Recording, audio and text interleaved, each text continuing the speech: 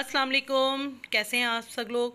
आज जो मैं आपको एक कलर का काम दिखाने जा रही हूँ, ये जो आप लोगों ने अक्सर देखा होगा कि नीचे कलर बाल होते हैं, ऊपर से ताज़े बाल आ जाते हैं तो फिर वो बाल बहुत बुरे लगना शुरू हो जाते हैं और क्लाइंट चाहता है कि उनकी पूरी लुक जो है वो न्यू हो जाए और बालों में शाइन और ग्लॉसीपन आ जाए। तो इस तरह की लुक जब हमारे पास क्लाइंट की आए, आप इसमें देख सकते हैं और हाँ एक चीज़ और मैं आप लोगों को बताऊँ कि इस क्लाइंट ने अपने बालों में जो रेवलॉन का मेटालिक डाई है, वो ख़ुद से अप्लाई कर लिया था और उसने मुझे बिल्कुल ऑनेस्टली बताया कि मैं ये कर चुकी हूँ, अब आप मेरे बालों को ख़ुद अच्छा सा कर दें। अब पिछली वीडियो में ना काफ़ी लोगों ने मुझसे सवाल किया था, आप ब्रांड कौन सा यूज़ कर रही हैं? तो जी देखें, ये पोस्टकॉम प्रोफेशनल का कलर मैं इस्तेमाल कर रही हूँ और इस वक्त मैंने अपने हाथ में पी सेवन कलर लिया है। पी सेवन जो है, वो हमारा लिफ्टर कलर है, जो हमारे बालों को सेवन लेवल तक लिफ्ट करता है। अच्छा मैं आपको एक बात बताऊँ कि इनके बालों में मैं पी सेवन इसलिए यूज़ कर रही हूँ क्योंकि इन्होंने रेवलॉन जो है ना मेटालिक जो है, वो लगा लिया था और ये ब्लीच इनको बिल्कुल भी नहीं करवाना था। इन्होंने कहा, आप जितना लिफ्ट हो सकता है लिफ्टर के थ्रू कर लें। तो मैंने P seven with double forty double forty का मतलब है कि हमारी जो एक ट्यूब होती है ना, वो सिक्सटी एम की होती है। उसमें हमने 120 ट्वेंटी जो है 40 वॉल्यूम लेना है। सबसे पहले जो इनकी न्यू ग्रोथ आई है रूट्स पे हमने अभी नहीं लगाना। 40 वॉल्यूम कभी भी रूट्स पे नहीं लगाया जाता। ये मैं आपको अपनी तमाम वीडियोस में बता चुकी हूँ। आपने रूट से 0.5 सेंटीमीटर छोड़ के ये जो मिक्सचर अभी बन रहा है पी सेवन और 40 वॉल्यूम का, ये इनकी जो न्यू ग्रोथ और जहाँ तक इनका जो है रेवलॉन मेटालिक लगा हुआ है वहाँ हम अप्लाई करेंगे। अच्छा फ्रंट पे इन्होंने, क्योंकि जब भी क्लाइंट कलर लगाता है ना घर में तो वो हमेशा फ्रंट पे ही लगाता है और बैक पे इतना ज़्यादा कलर उसके एक्सेस में नहीं होता कि वो उस कलर को लगाए। तो इसलिए इस क्लाइंट ने भी अपने फ्रंट पे ही इतना डार्क रेवलॉन लगा लिया था। इस वक्त हम जो P seven with forty volume लगा रहे हैं वो इनके उन बालों पे लगा रहे हैं जो डार्क लेवल के हैं, जो न्यू ग्रोथ भी है और जिस पे रेवलॉन का डार्क कलर लगा हुआ है रूट्स पे हमने नहीं लगाना और इस वक्त जो है हम फ्रंट को पहले इसलिए कवर कर रहे हैं क्योंकि इनका फ्रंट पे मटालिक लगा हुआ है। बैक जो है वो इनकी एक्सेस में नहीं था तो बैक पे हम बाद में लगा रहे हैं और बैक पे जो है इतना बाल मतलब कोडेड लेयर ऑफ़ मटालिक था भी नहीं। इसने सिर्फ़ एक दफ़ा लिया था डेली रूटीन में या मंथली रूटीन में मटालिक लगाने की आदि नहीं थी तो इसको हमने कोशिश की कि हम अपने लिफ्टर और फोर्टी वॉल्यूम से इसके लेवल को जो है वो सेवन लेवल तक अचीव कर लें। अब यहाँ पर आप देखिएगा कि जब हम पी सेवन को लगा के सेवन लेवल का लेवल अचीव कर लेंगे ना तो फिर हम इसको करवाएँगे वॉश अच्छा रूट्स जो है ना, वो हमने लगानी है ट्वेंटी वॉल्यूम के साथ पी सेवन के साथ, ठीक है?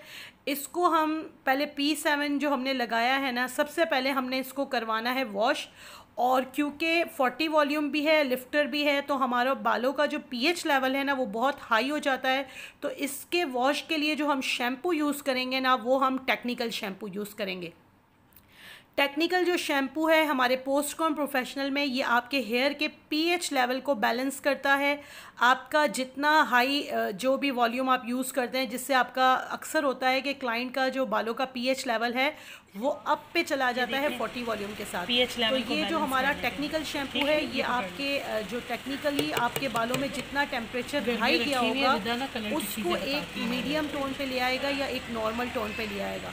मैं कोशिश करती हूँ क्योंकि अब कलर की वीडियोस में आप लोग इतना ज़्यादा इंटरेस्ट रखते हैं देखते हैं तो मैं कोशिश करती हूँ कि टेक्निकली बातें भी आपको आसान अल्फाजों में समझाऊँ, क्योंकि बाज़ात कुछ ख़वान ऐसी हैं जो हाउस वाइफ हैं और जो मेरा चैनल बहुत ही रेगुलरली देख रही हैं। तो उनके जो क्वेश्चंस होते हैं ना, लाजमी हैं, वो कोई ब्यूटिशन नहीं होती तो उनके क्वेश्चन थोड़े से ऐसे होते हैं जो टेक्निकली नहीं होते और वो आसान अल्फाजों में सुनना चाहती हैं। तो इसलिए मैं अपने वीडियो के अंदर कोशिश करती हूँ कि आपको इजी वे में जो है बताया जाए। अब देखें इनके बालों को हमने ड्राई किया तो इनका बालों का जो डार्क लेवल था या जहाँ पर मटैलिक था, वो हमें एक लेवल सेवन तक जो है अपने क्लाइंट का मिल गया। अब इस क्लाइंट की जो विश थी ना, वो सेवन पॉइंट सेवेंटी थ्री की थी। लेकिन 7.73 को अचीव करने के लिए हम लोग 9.73 की जो है वो ग्लॉसिंग बना रहे हैं। ग्लॉसिंग, देखें हम बनाएँगे नाइन पॉइंट सेवेंटी थ्री से वो इसलिए क्योंकि ग्लॉसिंग थोड़ी सी मास्क, आर्गन ऑयल और डेवलपर के साथ थोड़ी सी हो जाती है माइल्ड और ग्लॉसिंग हम बना रहे हैं ट्वेंटी वॉल्यूम से। अब इस ग्लॉसिंग को जो अभी हम बना रहे हैं अच्छा ग्लॉसिंग की मेरे चैनल पर बहुत डिटेल में वीडियोस मौजूद हैं। आप लोग देखते हैं कि मैं अपने हेयर कलर के काम में जो भी कलर करती हूँ, उसको, उसके बाद ग्लॉस लाजमी करती हूँ। एक तो ग्लॉसिंग से आपका शेड बहुत खूबसूरत हो जाता है, आपके बालों में शाइन आ जाता है सिल्की स्मूथ हो जाता है। ये ग्लॉसिंग का फ़ायदा होता है।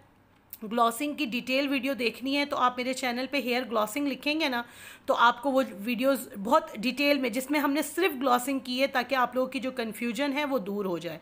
और इसके अलावा आप जब ग्लॉसिंग लगाएँगे तो आपने पूरे बालों में, ऊपर से लेके नीचे तक अच्छा यहाँ पर भी आपने रूट्स पे ये ग्लॉसिंग नहीं लगानी।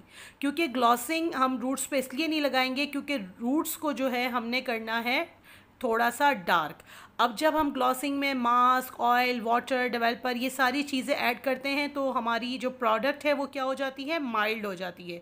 यानी वो कलर को इन्हेंस करती है और आपके बालों में शाइन लेकर आती है। यहाँ तक मुझे उम्मीद है कि आप लोगों को समझ में आ गया होगा कि हम किस तरीके से ग्लॉसिंग बना रहे हैं और ग्लॉसिंग हम क्यों करते हैं और किस लिए करते हैं, ये सारी डिटेल आपको समझ में आ गई होगी। अब ये मटेरियल जो हम बना रहे हैं, इसको हमने अपने हेयर जो सेक्शनिंग करनी है फोर्थ सेक्शनिंग करनी है।